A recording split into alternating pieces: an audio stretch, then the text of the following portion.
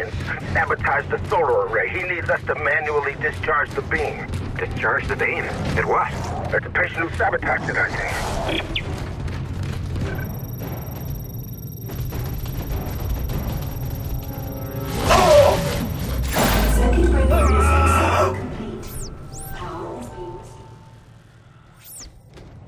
Boom. Power's back.